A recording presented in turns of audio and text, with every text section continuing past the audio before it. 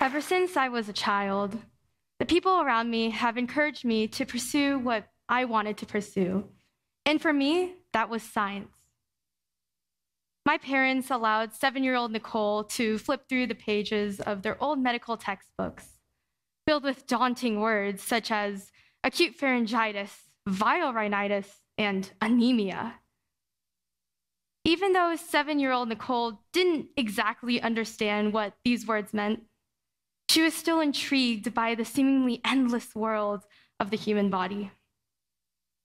Young Nicole was also enrolled in several science camps, where her experiences ranged from dissecting a pig and sticking flags in its organs to building a mini zip line to culturing bacteria swabbed from the surface of her phone.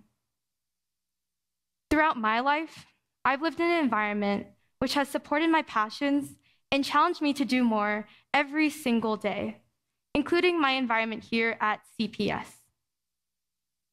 However, as I've met more people and I've learned more about the world around me, I've grown to realize that these experiences are not universal. In fact, many girls experience the polar opposite of a positive and supportive environment regarding their experiences in science, technology, engineering, and mathematics, abbreviated as STEM. I've heard stories of girls who have been shut down by people who are meant to be figures of trust teachers, guidance counselors, and even parents. One notable example is a geneticist named Dr. Jennifer Doudna, who is notable for her work in CRISPR gene editing. And her high school guidance counselor told her, quote, girls don't do science. These experiences and several other factors lead to the current gender inequality in STEM. Overall, in the STEM field, women and men actually have roughly equal numbers. But the issue here lies in the inequality in certain fields. In health related fields, women are actually overrepresented, making up 74% of the field. But in fields like computer science and engineering, women make up 25% and 15% respectively. And studies show that these inequalities actually stem from the beginning of their lives.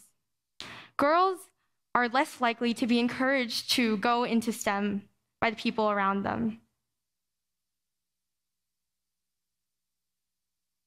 Girls are not likely to be encouraged because of the current gender roles prevailing in the society, where men are expected to be competent, assertive, and have qualities that are associated with STEM jobs, while women are tended to be seen as more submissive and too emotional and often have qualities associated with arts and humanities. And because of these different gender roles, girls and boys are raised up differently, which leads to girls being less confident and seeming less talented in the fields that they want to pursue, especially in areas of science. And because of the seemingly lack of talent, girls are discouraged from pursuing higher education in these fields, which then leads to them not being prepared to go into STEM jobs and STEM roles. And this discouragement is very terrible because we need more girls in STEM due to the effects of gender equality. Gender equality actually promotes a more innovative environment where girls and boys come together and they can share their perspectives and have an increased bank of knowledge. However, on the flip side, if there's no gender diversity, then Technology and innovations that come out of these fields are often less fair and less accessible. For example, a study showed that for facial recognition technology, it tended to work better for white men, while worse for women and people of color. Why?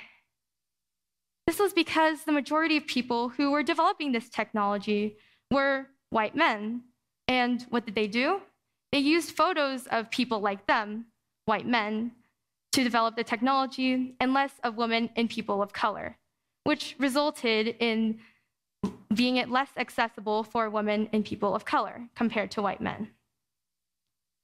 And this seems like a lot of information. It seems like it's a snowball rolling faster and faster downhill as it grows larger and larger. And it feels like it's going to crash right into me, as if I'm hopeless to stop it. We can stop it. We can stop it through looking at the girls today and encouraging them by promoting a supportive environment where girls have safe spaces to pursue their passions, such as clubs like Girls Can Code and Women in STEM. We also should promote an environment where girls are encouraged to explore opportunities in the STEM field and be able to obtain experiences to help them get to know what it's really like and show them that being in STEM can have such a positive impact. Aside from fields like health related fields and medicine, but also in fields like computer science and engineering.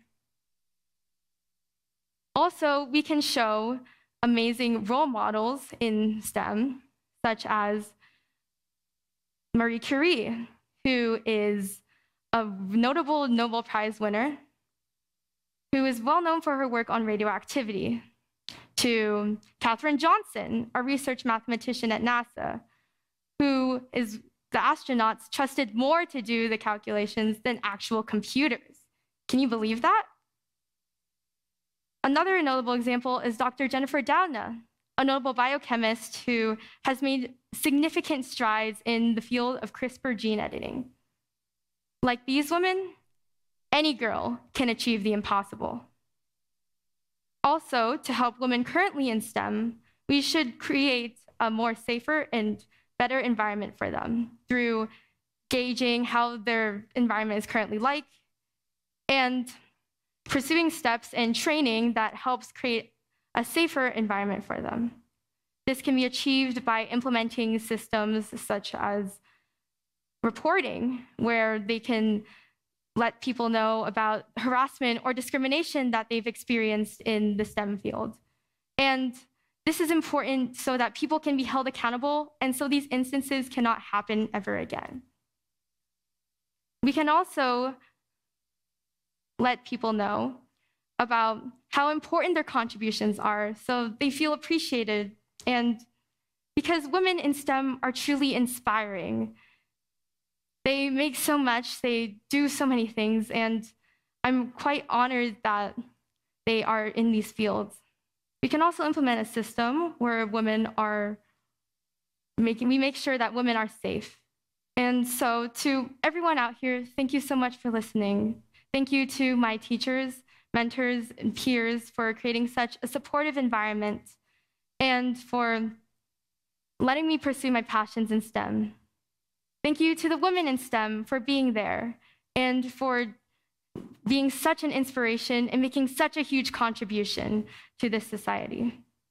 And lastly, I want to say to the girls of today, the girls who may have been discouraged to go into STEM due to people who they thought they could trust or people who they had societal expectations on them, to girls who knew that they wanted to go into STEM from day one. I believe in you, and even though I may just be one voice, I hope that my one voice can help you achieve your dreams. Together, we can create a better world for the women and girls of the present and future in STEM. Thank you.